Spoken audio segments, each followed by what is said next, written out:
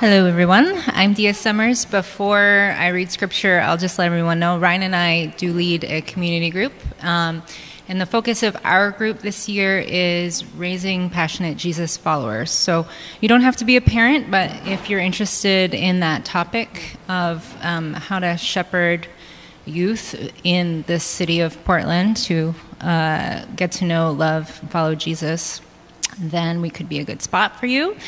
Um, currently, we have six adults and five kids, so probably a, a, little more room, but we're trying to find and keep the balance to make it doable so that we can um, actually achieve that goal. Um, but part of the focus of our group is that actually some of the weeks, and we haven't totally figured out what it's going to look like, but um, we're going to be like meeting all together, kids and the adults, to do um, like going over a Bible project video together, um, and and like being intentional about sharing our faith with our kids. So, um, so plug for that. And then I'm on the prayer team also, and I was funny. He asked me to do this, and I was like, I'm going to take the opportunity to have a minute of silent prayer, and then he did it. I was like, oh, praise Jesus! So that's awesome.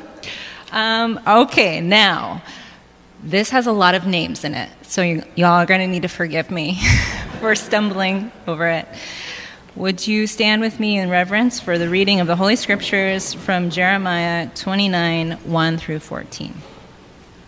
These are the words of the letter that Jeremiah the prophet sent from Jerusalem to the surviving elders of the exiles and to the priests and prophets and the, all the people whom Nebuchadnezzar had taken into exile from Jerusalem to Babylon.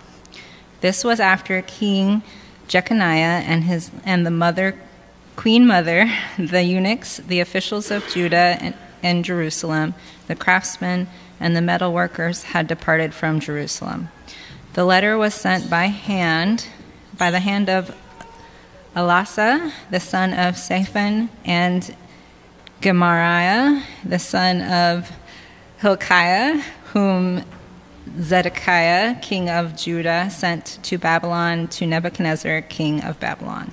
It said, Thus says the Lord of hosts, the God of Israel, to all the exiles whom I have sent into exile from Jerusalem to Babylon Build houses and live in them, plant gardens and eat their produce.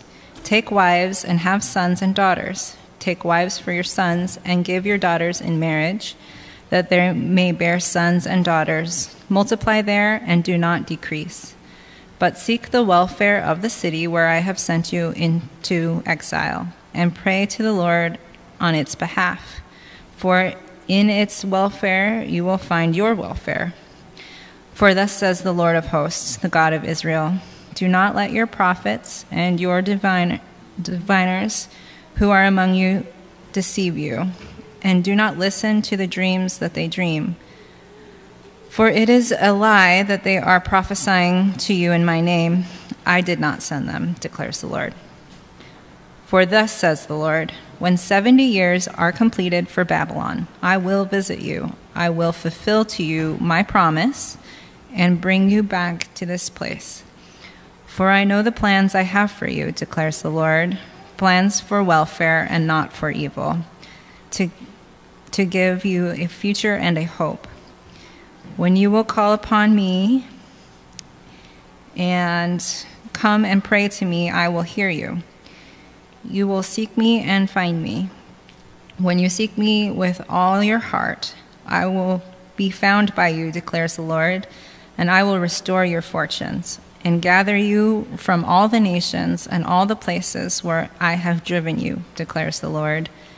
And I will bring you back to the place from which I sent you into exile. This is the word of God. You may be seated. Well, we have been in a, this is week four of a little vision series to kind of gather us together and kind of set, set an agenda for the ministry year. And we've been um, talking about just a desire that seems to have been collectively on the heart of this community, at least uh, specifically the people that lead and serve here, um, for, for just greater depth. And that, that depth, that desire for depth expressed in terms of just the sense that there, there's deep, there are deeper places to go, of course, uh, with our God, um, deeper places to go in discipleship and abiding in Him, uh, but also in community, just a greater lear- just yearning and longing for connection, for serving one another, for knowing like what are the real needs and to meet those needs. Um, and a lot of a lot of those ideas that were communicated that were just kind of on the heart of this church it turned out they were they could be very easily categorized and summarized and discussed from the vantage point of the four pillars of door of hope which are kind of four kind of vision uh, value ideas that the church was founded on um, and that are that still lead and guide us today. Um, and so we've been working through those. We we, we began with the cross uh, which defines our theology. We went to community, which defines our life together. Last week we talked about simplicity, which defines much of our philosophy. And today we talk about the fourth and final pillar, which is the city. The city, the place in which we live, the place in which we minister. And uh, if, if the simplicity pillar I mentioned last week has always historically been the most difficult to discuss uh, pragmatically, the city pillar has always been the most divisive. And some of that's been self inflicted. And this is the weirdest thing, y'all. I have no idea how or why this happened, but I found this on the floor yesterday upstairs in the balcony, and you, no one knows what this is, probably. Some of you might. This is a little card. It has the Door of Hope logo, and it says, Write your zip code. Everybody remember that? Few of you. So, uh, Josh White, who's the founding pastor of Door of Hope, he's the lead pastor at Door of Hope Southeast, our sister church. He, he has always fought to keep Door of Hope a tenaciously city oriented church, and I think it's been a really good thing.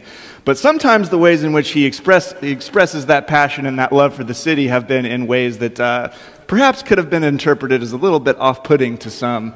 Uh, and I remember this. It was in this building years ago. Uh, they handed out these little cards and said, "Okay, I want you to fill this out." And it was there was just this push, like, "Hey, we need to like." At, at the time, Door of Hope was just like there were so many services happening and there were so few seats in the building and it was so difficult to get everybody in. And it was kind of like, hey, if you don't live in the city, like Portland city limits, we may be gently asking, maybe not so gently, asking you to maybe find a church closer to where you live. And I remember like this was part of the assessment of figuring out like how many people are, you know, proximate to the church. It is the strangest thing. I did not, pr- I swear to you, I did not print this off. I was like walking around here last week and just on the floor in the balcony, I was like, what the heck? this is the card. It must have fallen out of one of your Bibles or something. Or someone was just knew this pillar talk was coming up and you're like, I dare you, do it again. Do it again. That is really bizarre. Did someone do that like intentionally? I'll take that as a maybe. Well, okay, we're not, we're not going to be doing that. Um, but I do want to define the city pillar. And there's, there's three practical ideas before we get into the scripture that I just want to lay out. What, what, what function the city pillar has had for us as a church, and now church is here in Portland. The, the first idea is that the city pillar, the idea of the city, forms a, a relational center of gravity for us. Um, it's the context and it's the enabler of our locality. And it's even what makes the community pillar make sense. And we mentioned, I think we've mentioned a couple of times in this series now, there it has been a push um, over the last decade as technology's enabled it for, for churches to begin to adopt almost this idea that like their local church is supposed to be the church for like everybody everywhere. And that's become, you know, kind of it's overlapping with this idea of like online church, and there's churches like, we are an online campus, and you tune into us everywhere, and the main way you interact with our church is through our app. And yes, we get people in community through dis- you know, discussion groups online and stuff. Um, and I would just contend that while they may very well be a good, you know, sort of Christian content delivery service, which is good, that, that's a good thing, it's not a church by any biblical definition of that.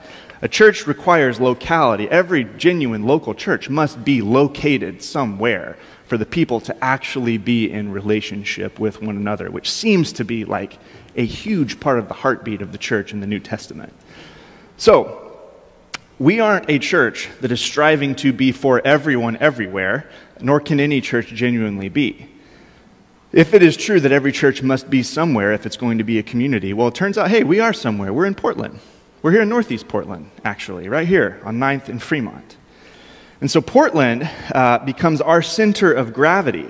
And it becomes the thing that enables us to actually say, like, hey, the people that will call this church home have to be proximate to Portland.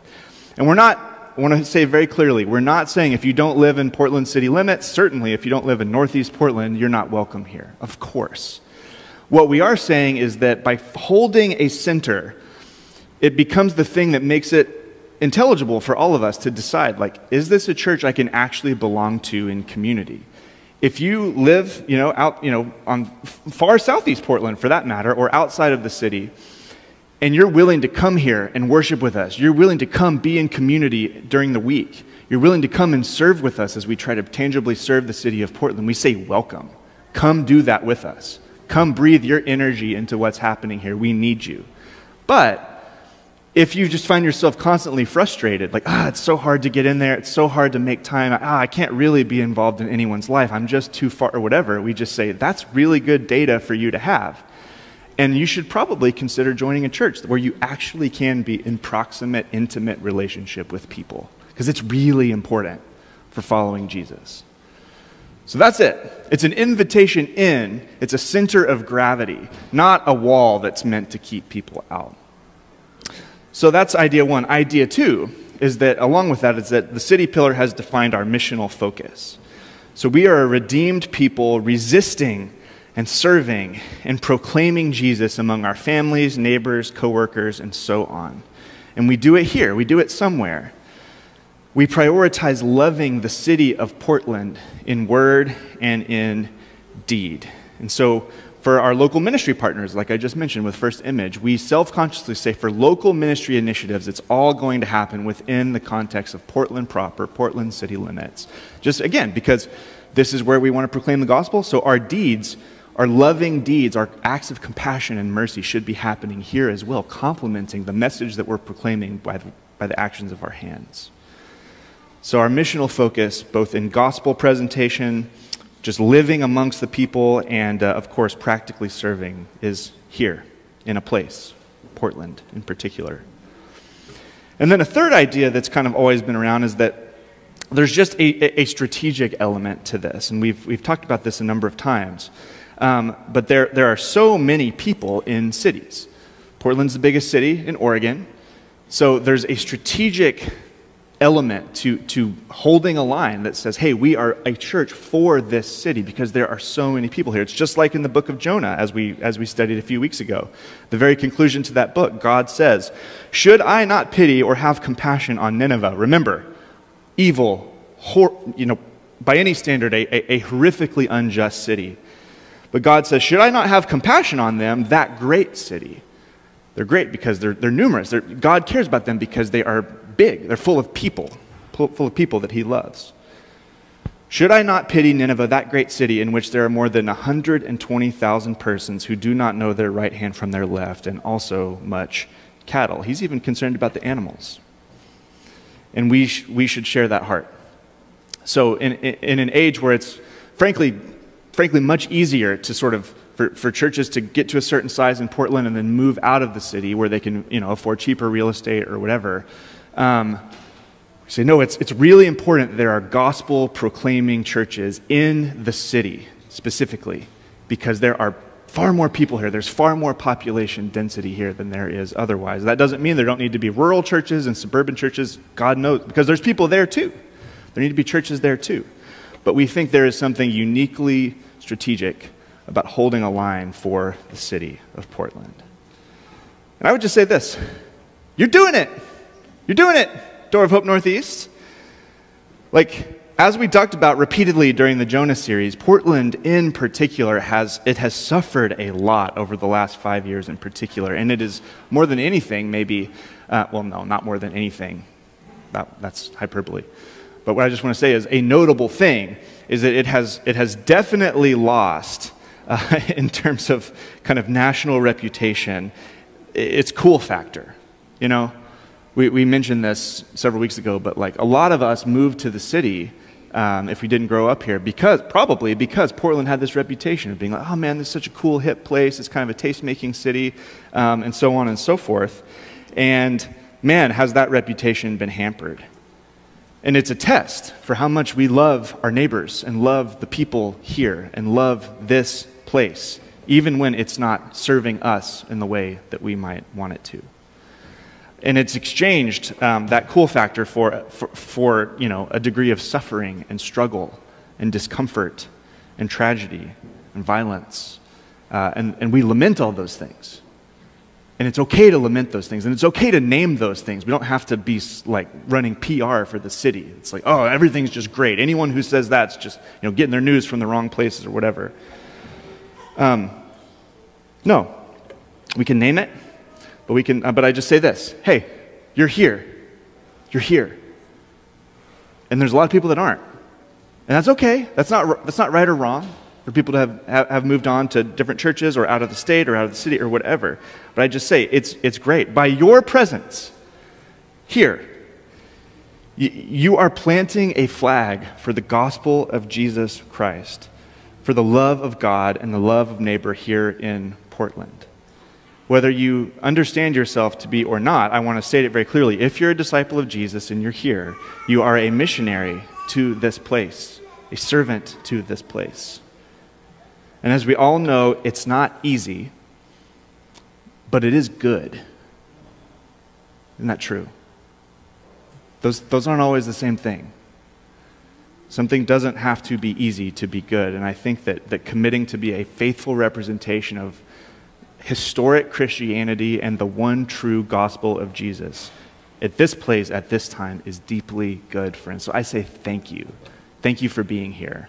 Um, and I say thank you sincerely to the other gospel proclaiming churches in our city and Christians that attend those churches that are here, like seeking to love Jesus and love their neighbors with, with authenticity and integrity. So, that's what the city pillar does. But what I want to talk about a little bit more is, is what do we do while we're here? All those things, all those things stated. What is our posture meant to be while we're here? That's what this morning is about. Um, so I want to pray one more time, and then we'll jump into that Jeremiah text that was read for us. Lord, help us. We need your spirit to move Lord, I need your words to be underneath mine. And Father, if there's anything I'm planning to say that is not of you, that is just my ideas or whatever, Lord, I just, I just pray that you'd protect us all from those. But may your heart towards this city just resonate and ring out this morning. And may we tune ourselves to it, to you. And Lord, I, I do just genuinely thank you for all the people that are here in this room and all the people that are part of this community that are not in this room right now, who have counted the cost of, of living in kind of a hard place right now. And have said that we're willing to count it, and we're willing to be a gospel presence despite it. Thank you, Lord. That is a gift. We don't take it for granted. Amen. Well, Jeremiah 29, um, the, you know, the, the opening verses of the chapter kind of set the stage, but, but what we're told is that what follows is the words of a letter that one of God's prophets, a guy named Jeremiah, sent to the surviving elders of the exile and the priests and the prophets and the people. So got to got to lay some some foundation here for the background to this. So so at this point in Israel's history, Jeremiah is an Old Testament book. The story here fo- follows towards the, the latter end of the Old Testament. Um, all kinds of trouble had befallen the nation, and at this point in their history, the, the kingdom of Israel had actually divided into two competing kingdoms. Um, kingdom of Israel in the north and the kingdom of Judah in the south. There, there, it was just this, all this intrigue and division and conflict, and they, they broke apart. And it's viewed as this like tragic thing, like, oh my gosh, that this, this nation who's supposed to represent God and his love and his unity has fragmented and they've divided. Uh, maybe not quite as extreme to say it was a civil war, but that, that kind of a dynamic.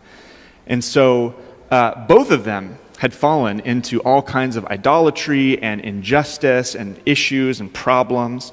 And God had said all the way back when he, when he gave them the law following the Exodus, when he rescued them from Egypt, he gave them, he gave them the law and he said, Listen, if you betray the terms of my covenant, namely, if you give yourself over to other gods, if you give yourself over to injustice, if you don't care for one another and for the people around you the way that I've commanded, trouble will come.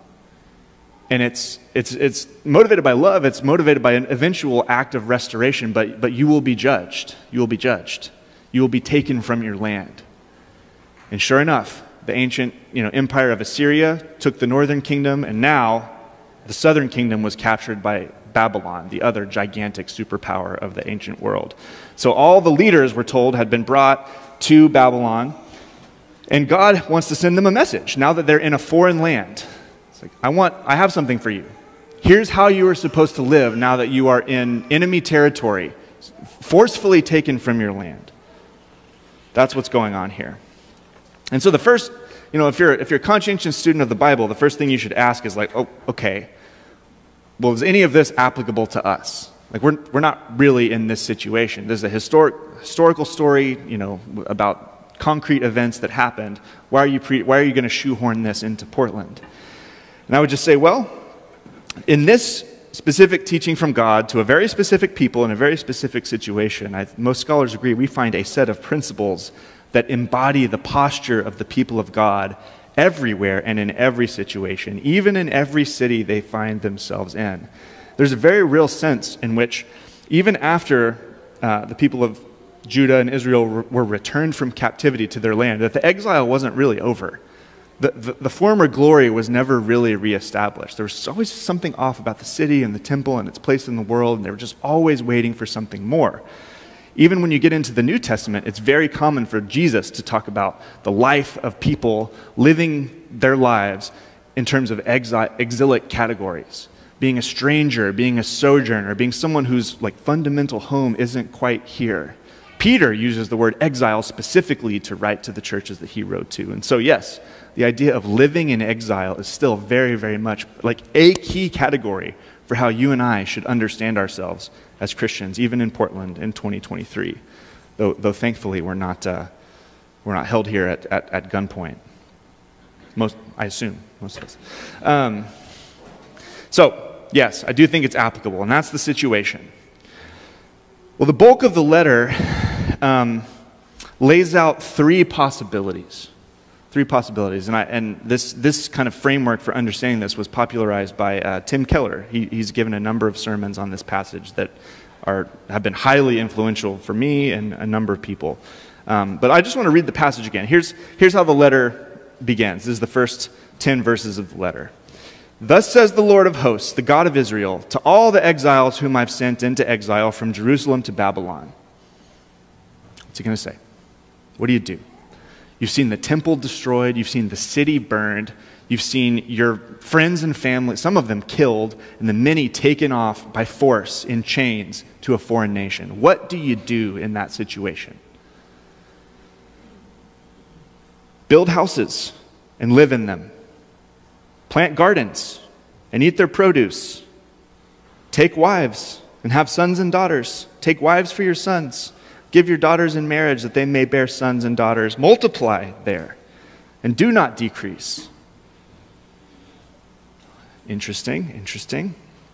But it gets even more scandalous. Verse 7 But seek the welfare of the city where I have sent you into exile, and pray to the Lord on its behalf, for in its welfare you will find your welfare. Thus says the Lord of hosts, the God of Israel Do not let your prophets and your diviners who are among you deceive you, and do not listen to the dreams that they dream, for it is a lie that they are prophesying to you in my name. I did not send them, declares the Lord. For thus says the Lord When 70 years are completed for Babylon, I will visit you, and I will fulfill to you my promise and bring you back to this place. That's Israel. For I know the plans I have for you, declares the Lord plans for welfare, not for evil, to give you a future and a hope. Then you will call upon me and come and pray to me, and I will hear you, and you will seek me and find me when you seek me with all your heart. I will be found by you, declares the Lord, and I will restore your fortunes, and gather you from all the nations and all the places where I have driven you, declares the Lord. And I will bring you back to the place from which I sent you into exile. I'm going to use Keller's three possibilities that are, that are there. There are three possibilities. I mean, obviously, he's commanding them to do something, but those aren't the, those aren't the only options for the captives, for the exiles. A first option is what we might call assimilation. Just absolute conformity, conformity to blend in to the Babylonian surroundings. To assimilate would be to just become Babylonian in their most fundamental identity. Well, here we are. Let's just go along to get along. Let's worship the Babylonian gods. Let's adopt the Babylonian values. Let's do what the Babylonians want us to do. Let's abandon the ways in which God has called us to be distinct. In short, let's just keep doing the very things that have led us into exile. Tim Keller rightly pointed out that what likely would motivate assimilation is an, the idea of self preservation. You know, when you're in a hostile environment and there's people saying, like, like they have literally enacted violence upon you to get you here and they want you to just fall in, the, the easiest thing to do is just say, Yeah, I'm fine, I'm cool. I'll just, yes, yes, yes, whatever you're for, I'm for, I'm just going to go for it. It's a self preservation that leads to that. Um, what might this look like in our context? What might this look like in Portland in 2023? Again, same thing. We're not in Babylon, but just going along to get along. The idea of just slowly making concessions around what you believe and how you live to just be more comfortable slowly, slowly disassociating from Jesus, his kingdom, the places where his values butt up against the values of Portland. It's slowly losing your critical lens, your ability to say, like, this thing is actually, it's not right. It's not just. It's not in line with the character and, and vision of God for human flourishing. Just slowly saying, oh, yeah, everything's just kind of fine and cool. And the tragedy is that you, you start making little, I mean, no one just almost no one just flips on these things overnight, but, but the common way it happens is just one day after small compromise after small compromise after small compromise after small compromise, one day you do wake up and find that you curse the name of Jesus rather than love the name of Jesus. And there's a million little decisions that, that get you t- from, from point A to point B, but it happens. We, we've all, probably all seen friends or family members do that. It slowly starts with just slowly eroding Jesus' teachings and what he's calling us to, little by little. But yeah, I still love Jesus. Of course I do. Until one day it's like, shut up about Jesus. Jesus is repressive. Jesus is evil. Jesus is backwards. Jesus doesn't love you. Jesus doesn't care about you. Jesus probably didn't even exist. That's assimilation. There's another option, and that's isolation or what, I might what you might term the holy huddle. The false prophet, so notice Jeremiah is saying, don't listen to these prophets that are among you. He's not saying don't listen to genuine prophets of God. He's saying that the, these people posing as prophets in your midst, they are not speaking on my behalf. And that's a really big deal to put words in the mouth of God. But what they appeared to be prophesying about, they, they were suggesting that, that you, we read this as you read on in Jeremiah. What these pr- false prophets were saying was that this exile was going to be really short, actually. They were saying that they are going to be restored back to Jerusalem very, very soon. You're just going to be here for a few months, maybe a couple years, but we are going to be right back. Babylon's going to get judged. Guys, we just hang on for a little bit. We'll be back in, the, in our comfortable land soon.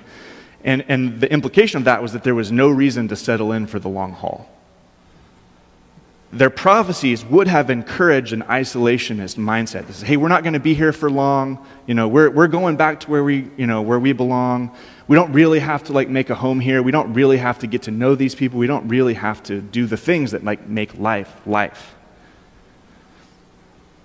The idea was that they could embrace a distance from, from what in, in the mildest form um, wants to see Babylon given over to whatever happens to it. And in its most extreme form, actively hates and works against the people of Babylon.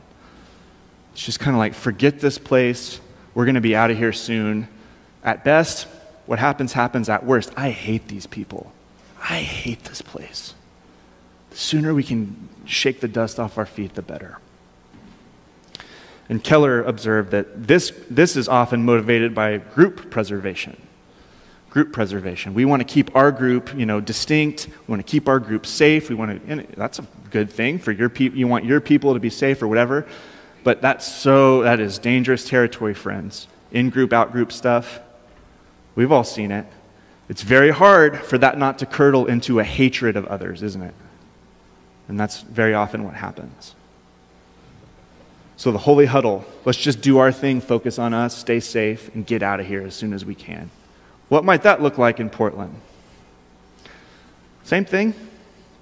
A holy huddle of Christian isolationism, refusing to really know and care for your neighbors, viewing every interaction with someone who doesn't think like you or believe like you or act like you, have the same views on things, vote like you, whatever it may be, viewing every interaction as a threat oh, that's not safe. It's not safe for me to be around this person.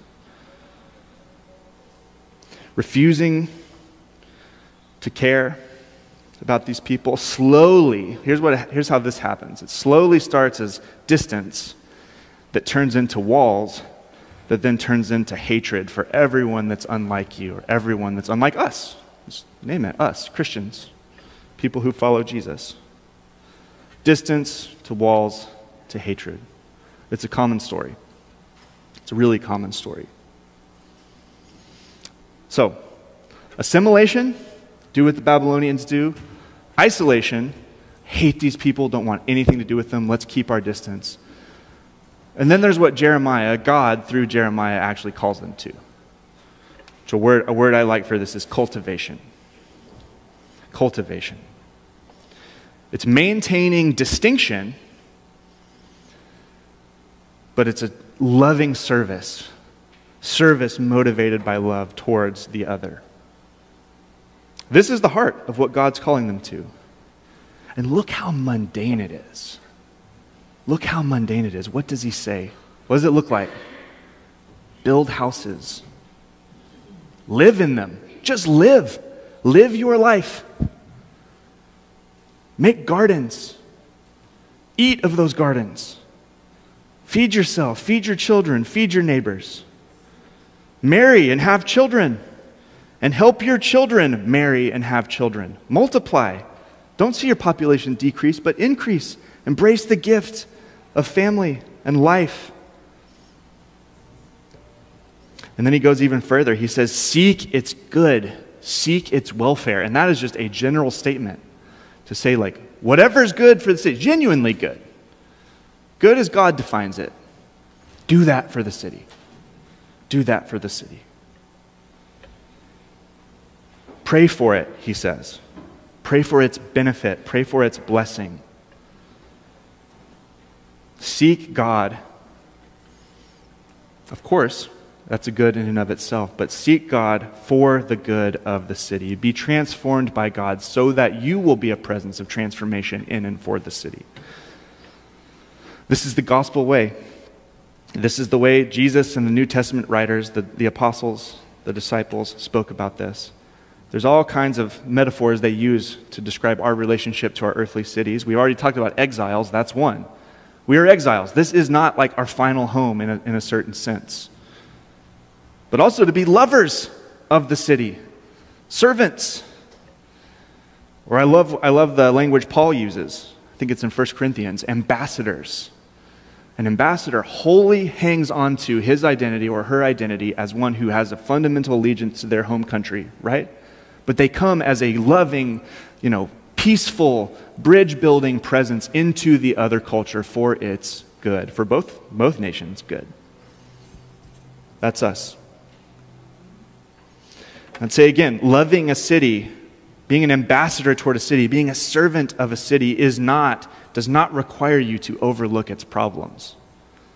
It's just helping rather than running away. It's not denying, it's just choosing to be a presence of love and peace and light and salt rather than giving it over to its own destruction. What God is saying here through Jeremiah is that loving the broken cities of our world, and Portland is one of them, really all of them are, are, are broken in their own way, it requires a distinction from them in belief and practice. If we're not distinct, we have nothing to offer.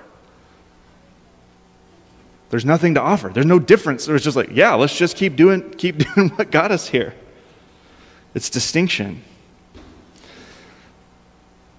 But it's, it's from that distinction that we can be a presence of the peace of God, the shalom of God, the goodness of God in them. So our desire must be to see the Jesus who was lifted up on the cross, now lifted up by us in our words and deeds, that he might draw many to himself here in Portland. We must want to see the gospel save our neighbors here. We must want to be the kind of community that's a place of hospitality and love and teaching and service to any who enter it. We must want to be the kinds of individuals who radiate the fruit of the Spirit wherever we go. And we must want to see the kingdom of God come and the will of God done as we pray every week here in Portland as it is in heaven. So, what might this look like, this cultivational posture look like here in Portland? Same thing. Make friends, be a good neighbor, work with integrity at your job, whether it's in the home or outside the home. Live a life of generosity, live a life of sexual integrity, live a life of family love, support our local artists make beautiful things to put out into the world. Pray for the city. Pray for your friends. Pray for your neighbors. Pray for your enemies. Pray for the most vulnerable in our midst. Pray for the city's leaders. It's harder to do that than just tweet negative things about them. Commit yourself all over again to knowing Jesus and following him in community. Do your part to make your life, your home, and our church a beautiful picture of the countercultural good news of the gospel of Jesus. And amidst all of this, become an invitational gospel sharing presence. Tell the good news that Jesus is king, that he loves everyone, and that he died to save them and to bring them a life more beautiful than they can imagine.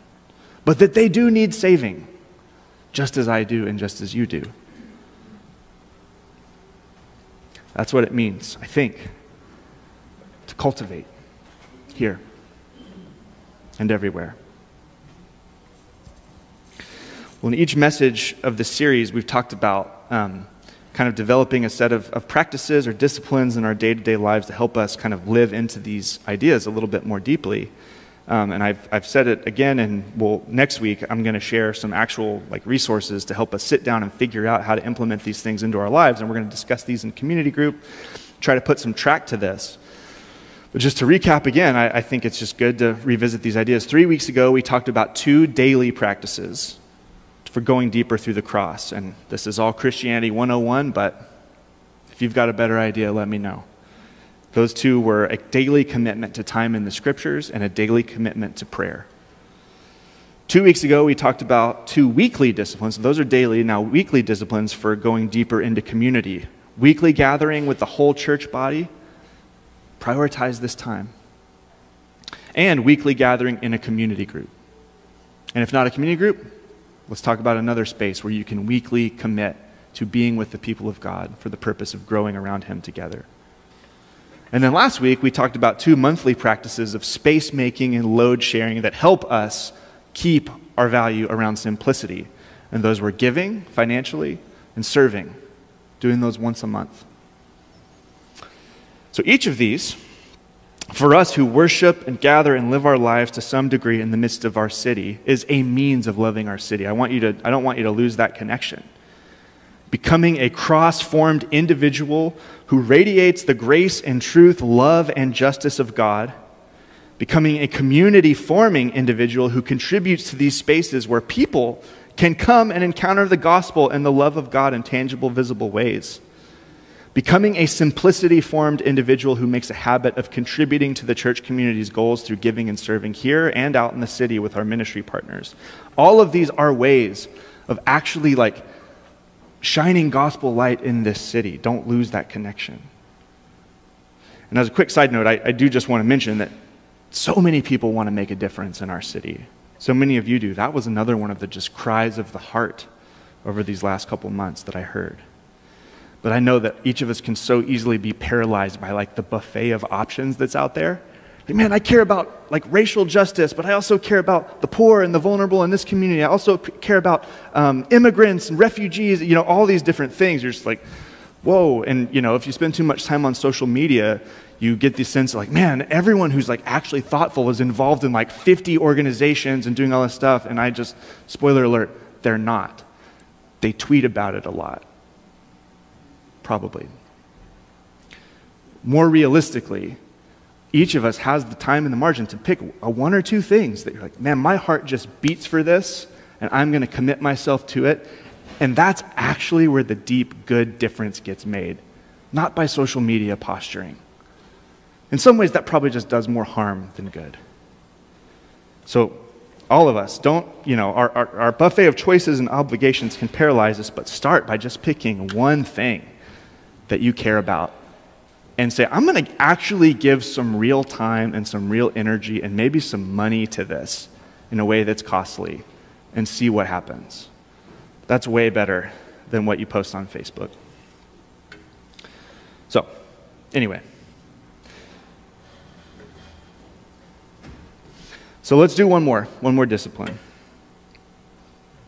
All of these are related to the city, but let's do one more that's, again, almost insultingly simple. This week, I would maybe call us all into one more monthly practice to help us move into the city. And it's a really simple one, again. I would just call it invitation. What would it mean to state a goal that once a month, just once a month, once a month, you make an invitation of one of these three sorts an invitation to Jesus. This is the boldest one. Say, once a month, I'm going to share the gospel of Jesus with someone in my life. The good news of his life, his death, his resurrection, the hope that he offers, the grace and infinite forgiveness and mercy that he has. It's one. Maybe you're a little less bold than that. Maybe you're a little less bold than that. Um, I often am. Make an invitation just into your community, whether that's just your, your kind of Christian friend group or whatever, but a place to say, hey, why don't you come spend time with us as we are just who we are, people who love and serve Jesus, but also, you know, do normal things that people do. We just live our lives. And then just be proactively inviting people to just come get a sense of the flavor of what life is like amongst the people of God. And then another one is this is related to that, of course, but just an invitation to church. Not to pad the numbers here on a Sunday morning, but just to say, this is a place we hope that will be. I love the way Josh White would always put it. We want this to be the most comfortable place in the world to hear the most uncomfortable message in the world. I love that. But we try really hard to make this a warm and inviting space that's easy to just come in. if you don't know what you believe about Jesus, it is you are welcome here as long as you want to come listen to me yammer. You know, like that's totally fine. As long as you want to come sing with us, as long as you want to come, you know, everyone is welcome here. But we are calling all of us somewhere, and that is to obedience to the risen Jesus, to the historic Jesus. But we just say, you know, inviting someone to church, we want it to be a comfortable thing for them to come and say, yeah, it is totally fine to be here and not know what I think about all this stuff. Or even to say, I disagree with that guy or that girl. We still want you here. Please come, continue, if you want to, to journey as we are following Jesus. And we try every week to make sure that the gospel is proclaimed in some form. So, Invite someone to Jesus, invite them into your community, or just invite them into church. What would happen if every one of us just said, once a month, I'm just going to risk. I'm just going to risk and make an invitation in one of these ways to someone. To someone. I think the Lord could do a lot with that.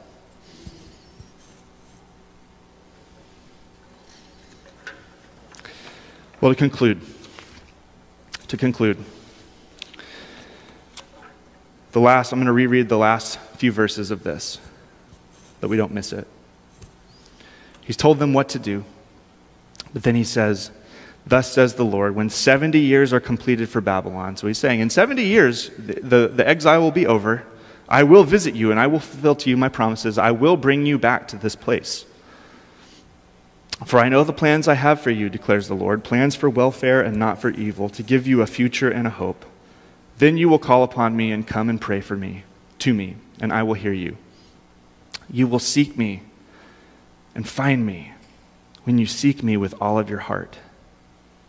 I will be found by you, declares the Lord, and I will restore your fortunes and gather you from all the nations and all the places where I have driven you, declares the Lord, and I will bring you back to the place from which I sent you into exile. So, is this promise for us? Uh, once again, it's a very specific promise to a very specific people. In 70 years, you will be restored back to Israel, but all of our grandmas who have this verse like crocheted up in their kitchen, they're right. They're right. This is a very popular verse because it does speak to some of the deepest truths imaginable. God does have a good plan for us.